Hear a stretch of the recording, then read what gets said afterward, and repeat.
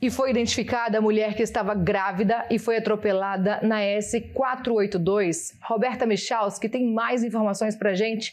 Boa noite para você, Roberta. Oi, Penélope, boa noite para você e para todos. Olha, a mulher tem 29 anos e o atropelamento aconteceu na noite do último sábado na S482, na altura do distrito de Coutinho. A vítima é Kelly Rodrigues, de 29 anos. A Polícia Civil de Cachoeira está empenhada na investigação do trágico acidente que resultou na morte da mulher que estava grávida de nove meses. O titular da Delegacia de Infrações Penais afirmou que uma equipe está coletando informações e evidências que possam contribuir para as investigações. O local do acidente é pouco iluminado e uma testemunha relatou ter ouvido os gritos de socorro de Kelly antes dela ser atropelada, mas antes que alguém pudesse prestar assistência, ela foi atingida por um veículo e arremessada, resultando na morte imediata dela e do bebê. Segundo a polícia, o motorista envolvido realizou o teste do bafômetro que deu negativo. Ele foi levado para a delegacia de Cachoeiro para prestar esclarecimentos e foi liberado. Kelly residia no distrito de Coutinho e deixou três filhos, de 11, 10 e 7 anos, e estava no último mês de gestação do quarto filho, que se chamaria Alain. E também na ES 482 em Alegre, um caminhão de lixo tombou, interditando totalmente a pista. Ainda não se sabe o que provocou o acidente que aconteceu em um trecho conhecido como Curva da Biquinha. O caminhão tombou na lateral da via. Apesar do susto, ninguém se feriu. Foi por volta de uma da tarde. O trânsito ficou parcialmente interrompido até o início da noite para a retirada do veículo e limpeza da pista. E hoje pela manhã, as escolas do bairro Zumbi, em Cachoeiro, ficaram fechadas devido a um tiroteio que começou nessa segunda-feira. Equipes da Guarda Municipal de Cachoeiro ficaram de prontidão no bairro Zumbi na manhã desta terça-feira, após o intenso tiroteio que levou pânico aos moradores da comunidade no início da tarde de segunda-feira. A informação que circula é que a facção estaria querendo tomar o movimento na região e a gangue local foi para as ruas com a intenção de demonstrar seu poder de fogo e amedrontar os rivais. Na manhã desta terça-feira, as escolas não abriram, apesar da guarda ficar de prontidão no local desde as 6 horas da manhã. A informação inicial era de que haveria aula normalmente, porém, a direção optou por aguardar e voltar a funcionar na quarta-feira. Até o momento, não há registro de baleados. Segundo o coronel Fabrício, do 9 Batalhão da Polícia Militar de Cachoeiro, haverá processo de identificação dos suspeitos que praticaram o ato. A partir disso, serão solicitados os mandados de busca busca e prisão e que uma operação acontecerá durante toda a semana.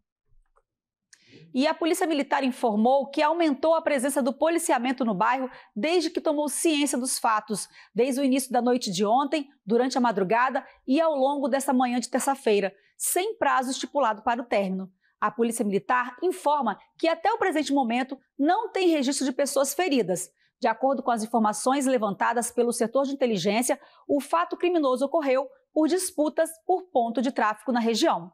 E uma operação da Polícia Federal prendeu na manhã dessa terça-feira, em Cachoeiro, dois suspeitos de venda de anabolizantes. A polícia identificou o grupo pela internet. Foram centenas de caixas de anabolizantes apreendidas. Segundo a Polícia Federal, a Operação Fermento foi deflagrada em Cachoeiro e em três cidades de São Paulo. Dois homens foram presos e são suspeitos de integrarem uma quadrilha de comércio ilegal de anabolizantes. Ao todo, 28 policiais participaram do cumprimento de sete mandados de busca e apreensão nos dois estados. A investigação teve início no ano de 2022, após a apreensão de uma encomenda de anabolizantes ilegais enviadas de São Paulo para Cachoeiro de Itapemirim, através dos Correios. A Polícia Federal informou que, a partir dessa apreensão, os agentes conseguiram investigar um grupo de pessoas responsáveis pela comercialização de grandes quantidades de anabolizantes pela internet para todo o Brasil. Os crimes investigados são de comércio ilegal de anabolizantes, uso de documentos falsos e lavagem de dinheiro. Bem, agora vamos mudar de assunto. A gente vai conhecer agora, em Cachoeiro de Itapemirim, uma academia colaborativa que surgiu da necessidade de suprir a falta de espaços para treinos com personal trainers. Até parece uma academia como outra qualquer, mas aqui só se pratica atividade física acompanhada pelo seu personal trainer e com horário agendado. O espaço, que tem uma estrutura completa para atender os profissionais de educação física, funciona de maneira colaborativa. São 12 anos aí, nós temos 22 colaboradores aqui dentro do, do estúdio, cada um faz seu trabalho.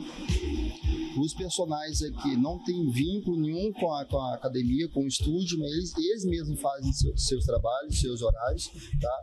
Eles não têm participação de, não tem repasse. Quem paga aqui são os próprios alunos e a gente valoriza bem é, o profissional. Então, cada um tem seu horário e eles fazem o trabalho que eles quiserem aqui dentro do estúdio, respeitando os limites de cada aluno é uma espécie de co-work para personal trainers, uma forma de trabalho que já virou tendência no Brasil.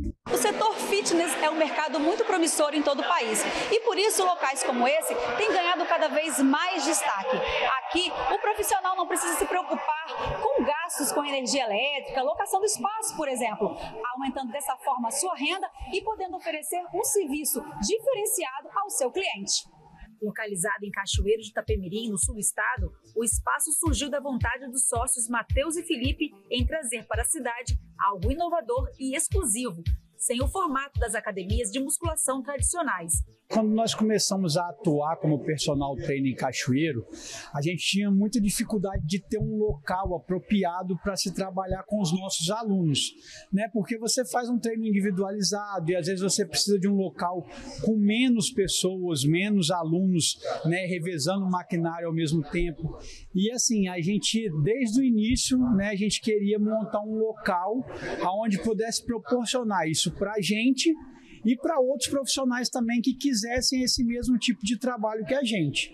Tiago é um desses profissionais que encontrou aqui o local ideal para realizar o seu trabalho. A gente sabe que hoje o trabalho personal é um trabalho muito complexo, de correria muito grande de um lado e para o outro. Então, em 2017, 2018, eu resolvi vir para cá e filtrar os alunos justamente para poder ter para otimizar o meu tempo, para poder atender os alunos de forma melhor, para ser flexível, porque a gente sabe que hoje a flexibilidade ela ganha aluno. Né? A galera hoje tem um dia muito corrido, quanto mais flexibilidade você puder atender em horários, você tem a chance de fidelizar melhor o aluno.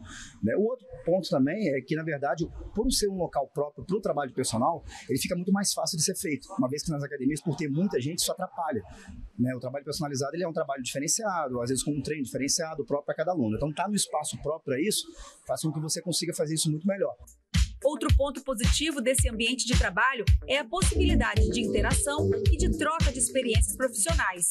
É, cada um aqui tem a sua vivência, é, cada um aqui tem o seu tempo de formação, então a gente sempre senta, às vezes, troca ideia, a gente vê algum professor num exercício diferente que a gente não conhece, a gente pergunta, a gente troca ideia.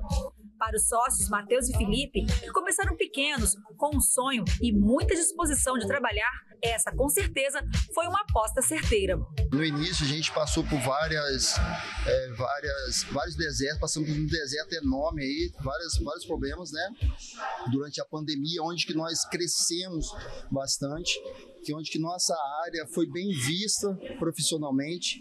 É, muita gente aí quis voltar para a academia, viu, é, viu que, que, a atividade física é algo benéfico, então foi gratificante. O crescimento aí está enorme, tanto para nós aqui, os, é, os proprietários do estúdio, como para os professores que vêm para cá trabalhar com a gente.